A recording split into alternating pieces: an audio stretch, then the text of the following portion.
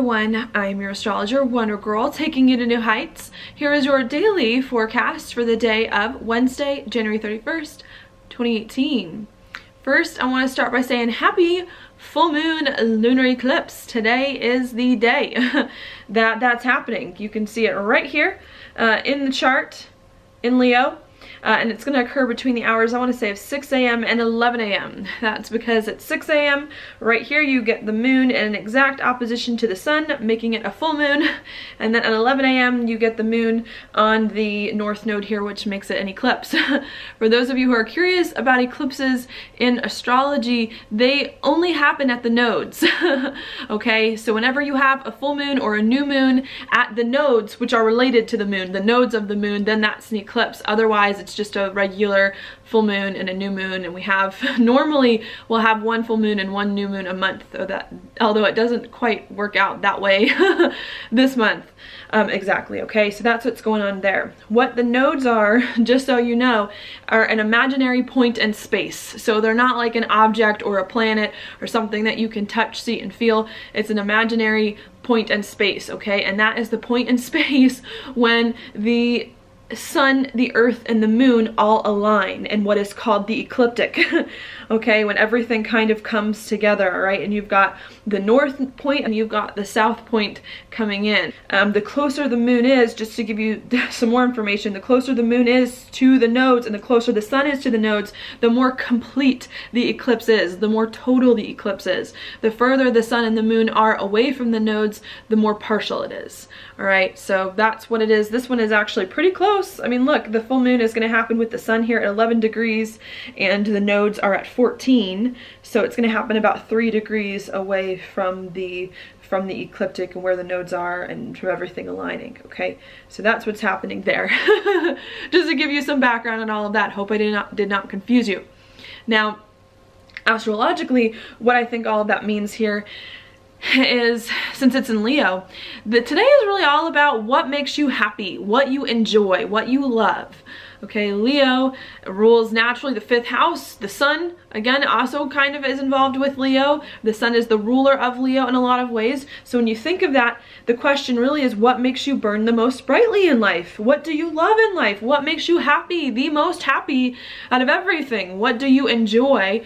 And I think that's what we're trying to figure out today is what do I want my life to be about? How do I do more of what I love to be happier in life, to have a life that I feel like I love, that I enjoy, that just helps me accomplish the things that are really really, important to me.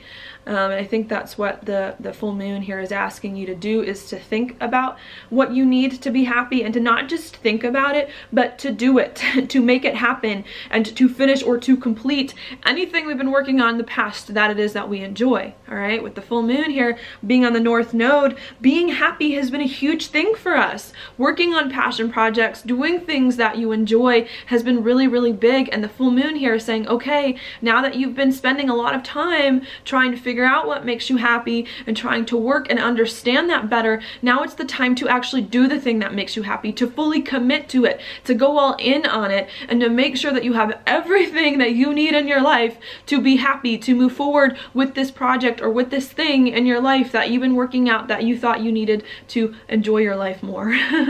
okay, so I think that's just what the lunar eclipse is saying is how can you fully step into the thing that you enjoy?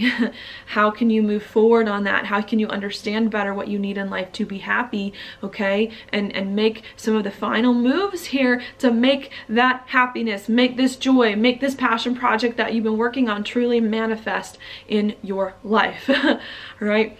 So I think that's to me what the eclipse is all about. Of course, with the sun and the solar eclipse being here later on, and with Venus very close to the eclipse, and Mercury moving into Aquarius today too, I think there's a lot of thinking that we're doing about our future, about where our life is going, about where we see our life, about the kind of life we ultimately want to have.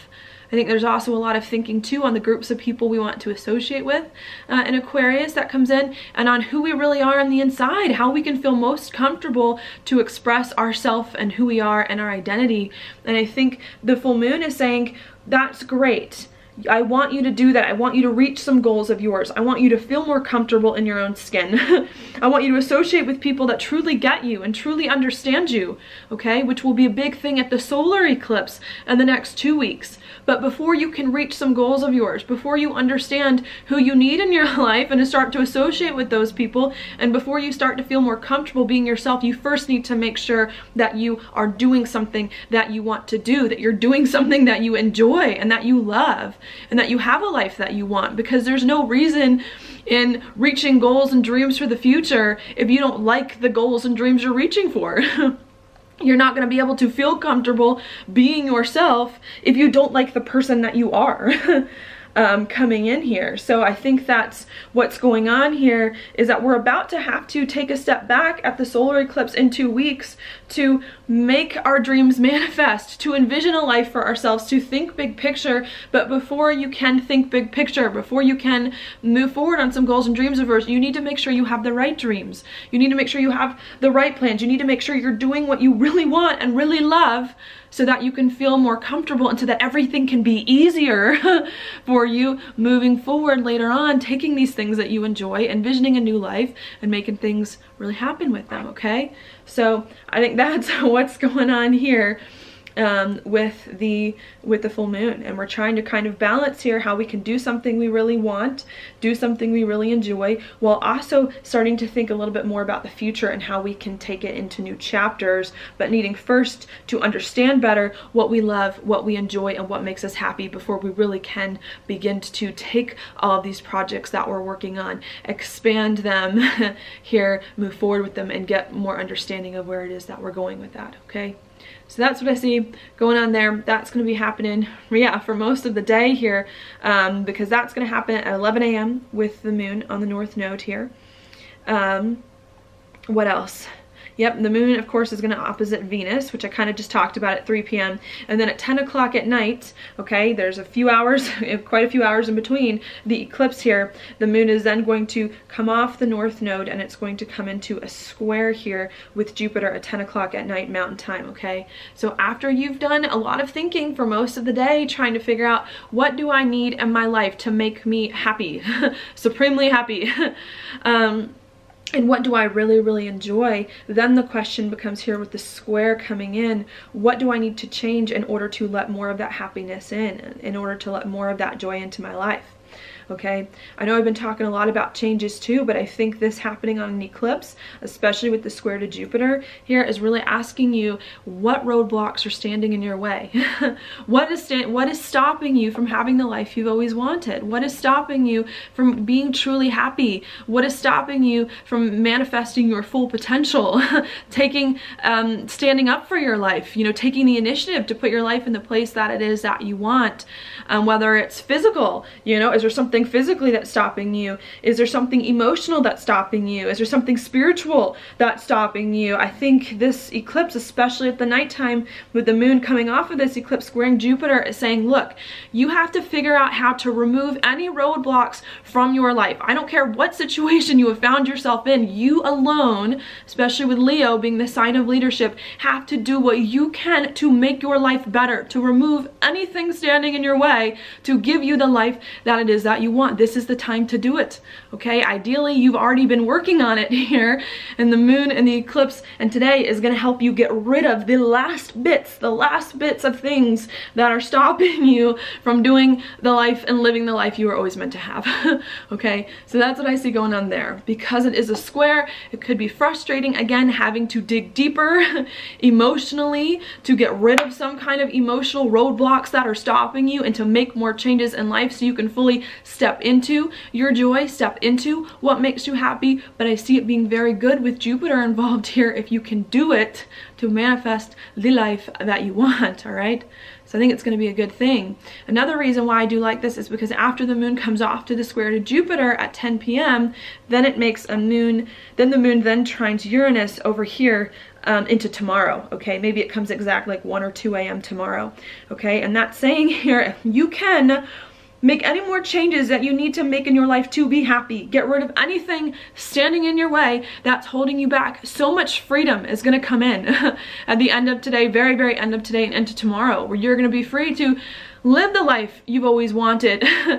to express yourself more authentically, to do the things that you've always wanted to do and to break free from things that have been holding you back you know? So it's just like there's so much good stuff that can come. I think i think this eclipse is going to bring so many good stuff here if you can just fight time and time again all of these things that are stopping you from stepping into your potential and from living the life that you were always meant to live. I think there's a lot of good to be had here.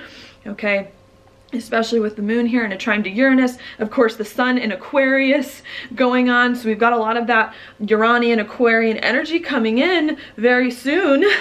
Already really with Venus and Mercury being there saying, look, if you can figure out what you need to be happy and if you can make that happen and, and get everything else out of your way, it's going to be much easier for you after to embrace your life. Be the person you always wanted to be and feel more comfortable with it. But you just maybe have to make some of the hard hard choices, the hard decisions too, and follow through on some projects, complete them all so that you can start to feel more of the joy and more of the freedom that comes from truly being yourself and doing something that you like at the end of the day. All right, so that's what I've got for you this eclipse.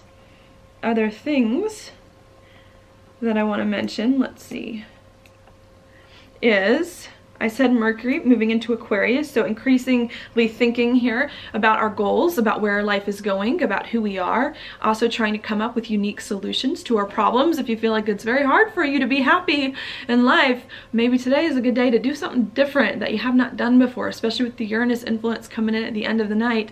Try some kind of new solution. Do something weird and unusual. You might be surprised how well that can work to help you out. All right, so we've got the Mercury into Aquarius. We also do have Mercury as it moves into Aquarius in a sextile over here with Mars too. You've given lots, I think, of energy here, lots of um, communication as well, and lots of action to do something new, to put your life in a better place, to find more of the passion in life, to explore more of your options, to step into a life that really excites you, that it is that you really like, and to communicate with other people about it and to be more open about it. So I see that being a very, very positive thing coming in here if you can move forward being happy on some things that you really like to help you open up some big doors okay, to feel much better doing something you want to do. All right, now I'm going to pull some cards. I think I'm going to pull three today for the eclipse. I'll do challenges first um, of the eclipse, blessings from the eclipse, and some advice. All right, so let's do your challenges first. We've got the four, the four of pentacles upright. This to me is a card of being too conservative and holding on too tight to things. All right, we've got we've got the sun here, Mercury and Venus in Aquarius, and we've had a whole bunch of Uranus stuff just happened the past week. And I think this is saying stop holding on to things that too tightly. Stop holding on to an old lifestyle, an old way of living, an old way of thinking. Aquarius is the most forward-thinking, innovative sign of the zodiac. like if you're stuck in an old way of living, then you're then it's not going to work for you. This eclipse is going to be very hard for you and things are going to get even harder from here on out. But if you are letting go of the things that are no longer working for you, owning your power and owning what it is that you have, I think it's going to help you um, in the future here to create more of a life that it is that you really want. And I think you need to make sure that you let go of the things that are not working for you so you can step into a life that is even better for you and let go of the things that are holding you back. Okay? So that's what I want to say there. The um, blessings, I guess, of this eclipse. Oh, I love it. The star. This is a good one. I think this one here, to me, is one of following your path, living in your lane doing something that is really, really good for you, meant for you, important for you. I think if you're making sure that you're doing what you need to feel happy in life, you're to feel like you are right where you need to be. you know, I think you're to have so much more insight and inspiration about your life. You know, I like to think of this card as having the North Star at the top. So I think if you can do what you need to be happy, to find your joy and find your bliss with this eclipse, I think you're to start to feel like everything, like you found your place in the heavens, you know, and like you found your North Star and can follow your North Star and your intuition to manifest the life that it is that you've always wanted, but you want to make sure you're listening to your heart today and listening to what it is that you really want so that you can continue to get the inspiration that it is that you need and feel like you are putting your life in the right place moving forward. So I think there's lots of power to step into a fate, a destiny, a future that really is meant for you at this eclipse, if you can accept it. All right, and the advice, even though that kind of was advice, here is the seven. It's the seven of swords reversed. This to me is a card of doing things in secret, especially when it's upright. And I think reversed it's saying, don't do things in secret here.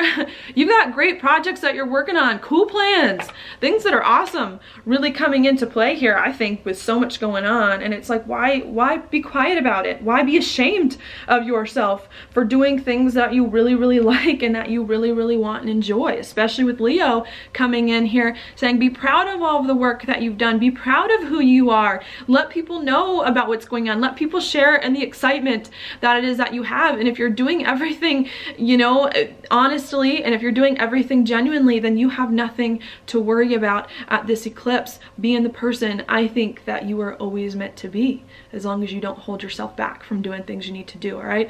So that's what I've got for you this video. Hope it was not too long. Thank you so much for watching. If you like it, please like it on YouTube, subscribe to my channel, share it with your friends, and I will talk to you later.